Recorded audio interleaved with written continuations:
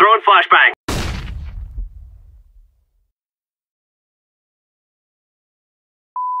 你还在使用这亮的不像话白色模式的 Robot Studio 吗？这是给 Noob 在用的。今天这部影片我会教你怎么开启你 Robot Studio 的暗黑模式，同时也会教你怎么去改脚本里的文字颜色，让你就算才刚开始制作 Roblox 游戏，都能像个真正的 Pro 一样。那么话不多说，我们就正式开始吧。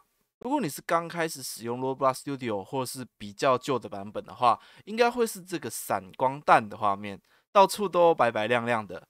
要修改成我其他影片那样的暗黑模式，只要在开启 Roblox Studio 之后，按左上角的 File，点击 Studio Settings，看到这个小视窗，我们在上面的摄取搜寻栏打上 Theme，E H E N E，也就是主题的意思。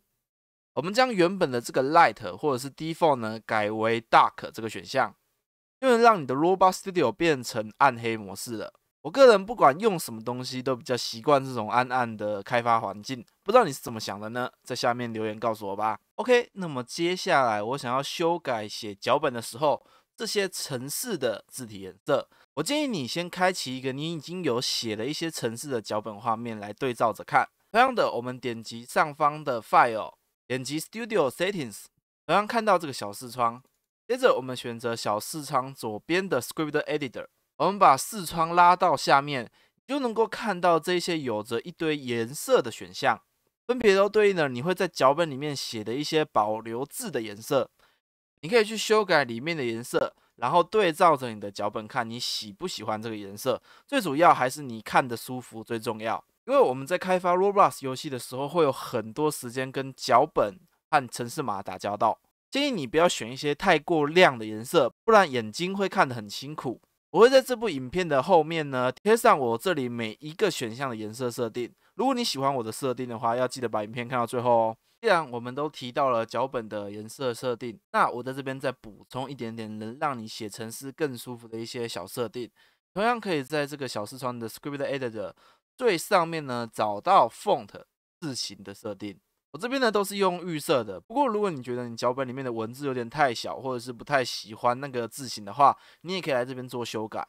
不过我更尝试会这样子做。我们关闭这个小视窗。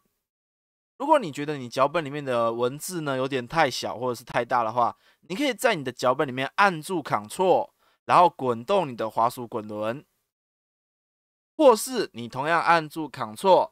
然后加上你键盘上那个倒退 backspace 旁边的加号或减号，这样呢，同样可以暂时调整你脚本里面的文字大小。你下次开启 Roblox Studio 的时候，这个文字大小就会重新变回原本的设定了。好啦，那么这部影片就差不多到这里。这种影片类型呢，算是一种新的尝试，因为要在一个礼拜出两支教学影片，实在是有一些困难。所以，我有可能每个礼拜呢，除了一支教学影片以外，会再有一支这种大家常问，然后我影片脚本和剪辑可以快速产出来的影片给大家。不知道各位喜不喜欢呢？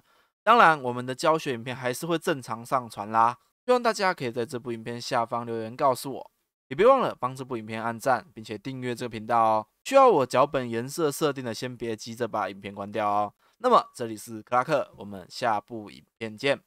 拜拜。